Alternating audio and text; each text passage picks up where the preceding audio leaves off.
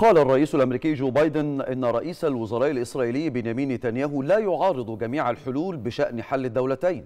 يأتي ذلك فيما طالب مسؤول السياسة الخارجية بالاتحاد الأوروبي جوزيف بوريل بفرض حل الدولتين على إسرائيل إذا لزم الأمر.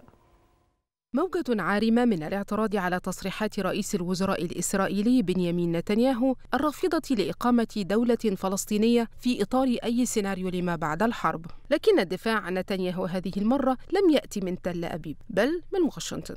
إذ قال الرئيس الأمريكي جو بايدن إن رئيس الوزراء الإسرائيلي لا يعارض جميع حلول الدولتين مشيرا إلى مقترح إقامة دولة فلسطينية منزوعة السلاح. وهو ما أفادت وسائل إعلام أمريكية بمناقشة بين بايدن ونتنياهو. في الولايات المتحدة أيضا الداعمة الكبرى لإسرائيل في عدوانها على قطاع غزة طلب ستون نائبا ديمقراطيا في مجلس النواب من وزير الخارجية أنتوني بلينكين تأكيد معارضة التهجير القسري للفلسطينيين في قطاع غزة وأعربوا عن قلقهم من الخطابات المتطرفة الصادرة عن مسؤولين إسرائيليين. بدوره اتخذ الاتحاد الأوروبي موقفا صارما إذ طالب مسؤول السياسة الخارجية بالاتحاد جوزيف بوريل بفرض حل الدولتين على إسرائيل إذا لزم الأمر. مشيرا إلى أنه بخلاف ذلك فإن دوامة الكراهية سوف تستمر بين الجانبين جيلا بعد جيل. في السياق ذاته أكد زعيم حزب العمال البريطاني المعارض كير ستارمر أن الدولة الفلسطينية حق للفلسطينيين معربا عن رفضه لتصريحات نتنياهو.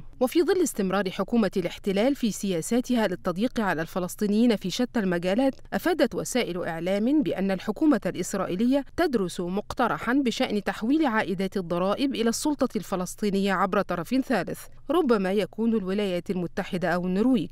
وعلى صعيد الوضع في قطاع غزة تواصل إسرائيل سياساتها التي تورطها بشكل أكبر في جرائم ليس فقط بحق الفلسطينيين بل بحق محتجزيها أيضا. وفي تأكيد على الأمر شدد رئيس أركان جيش الاحتلال السابق عضو مجلس الحرب جادي إيزنكوت على استحالة إعادة المحتجزين أحياء في المستقبل القريب دون اتفاق وأن التصريحات بشأن إعادتهم أحياء لا تعدو كونها مجرد أكاذيب.